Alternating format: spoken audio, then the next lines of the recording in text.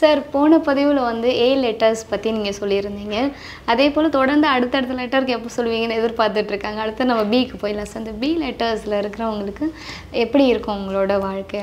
ஆமாம் பிங்கிறது வந்து பார்த்திங்கன்னா சந்திரனுடைய ஆதிக்கம் நிறைந்த ஒரு முதல் எழுத்து. பினாலே ரெண்டாம் நம்பர் தான். ரெண்டாம் நம்பர்னாலே சந்திரன். ஸோ சந்திரனுடைய ஆற்றல் நிறைந்த ஜாதகமாக இருக்கணும். உதாரணமாக சொல்கிறதா இருந்தால் கடக கடகராசியாக இருக்கணும். ஏன்னா சந்திரன் கடகத்தில் ப பலப்பட்டுறாரு. இன்னொன்று கன்னியா லக்னம் கன்னி கன்னியா லக்னமும் வரலாம் ரைட்டா அதே மாதிரியே பார்த்தீங்கன்னா விருச்சிக லக்னத்துக்கும் ஓகே. அதே மாதிரி மீனமும் ஓகே. மீன லக்னத்துக்கு கடக வீடு சந்திரனுடைய வீடு அஞ்சாம் இடம் ரைட்டா சரி கடகத்துக்கு அஞ்சாம் இடம்னு சொல்லக்கூடிய வீடு என்ன? விருச்சிகம். விருச்சிகத்துக்கு அது பாக்கிய வீடு. கன்னிக்கு லாப வீடு. மீனத்துக்கு பூர்வ புண்ணியஸ்தானம். ஒன்று மீன லக்கணம் வரணும் அல்லது கடகலக்கணம் கடகராசி வரணும். அல்லது கன்னியா லக்கணம் வரணும் அல்லது விருச்சிக லக்கணம் வரணும். சந்திரன் நீசமானால் கூட அந்த வீட்டுக்கு அது பாக்கிய வீடு.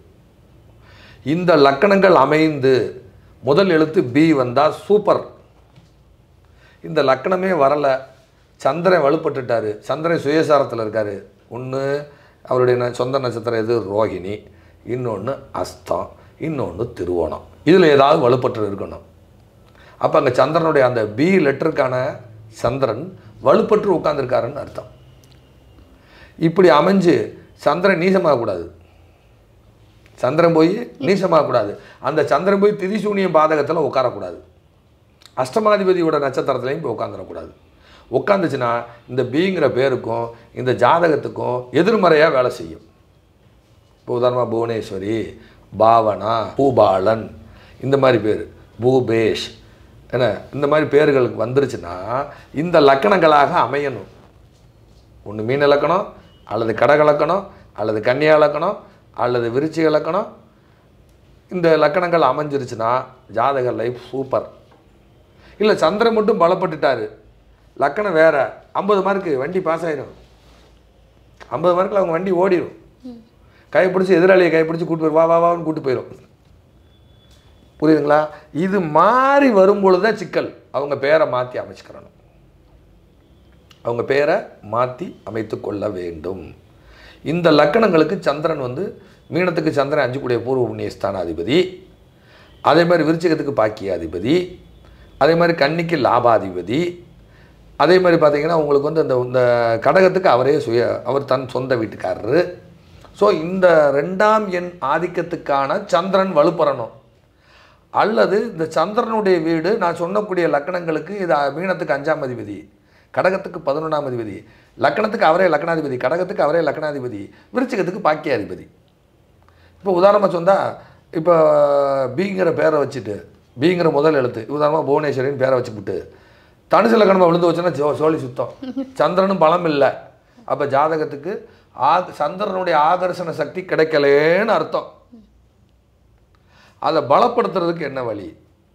உதாரணமாக பார்த்தீங்கன்னா இதே இப்ப இந்த மாதிரி பாவனான்னு ஒரு பொண்ணு.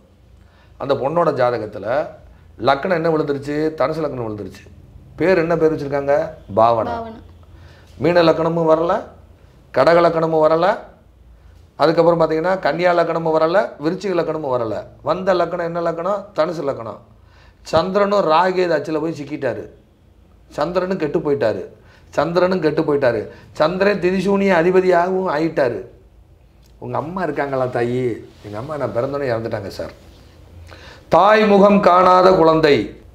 சந்திரன் தான் தாய். அதே மாதிரி ஏற்கனவே ஒன்று விட்டு போச்சு. இந்த சூரியனுடைய இதில் இதே மாதிரி அதாவது அந்த முதல் எழுத்து ஏ வரிசையில் வந்து மேசம். மேச லக்கணமும் வரலை. சிம்ம லக்கணமும் வரலை. விருச்சிக லக்கணமும் வரலை. தனுசு லக்கணமும் வரலை. விழுந்த லக்கணம் மகர லக்கணம். மகர லக்கணம். சூரியன் தந்தைக்கான கிரகம். அந்த சூரியனுடன் ரெண்டு பாவி கூடி சனியும் சேர்ந்து செவ்வாயும் சேர்ந்து ராகேது அச்சிலேயே போய் உக்காந்து ஜாதகர் பிறந்தப்ப அப்பா இல்லை.